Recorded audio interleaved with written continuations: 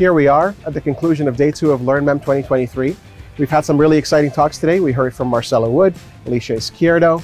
We had 60 or more students presenting their lightning talks. These were rapid fire talks showing their latest and greatest work. We had a very crowded poster session, but also very, very exciting.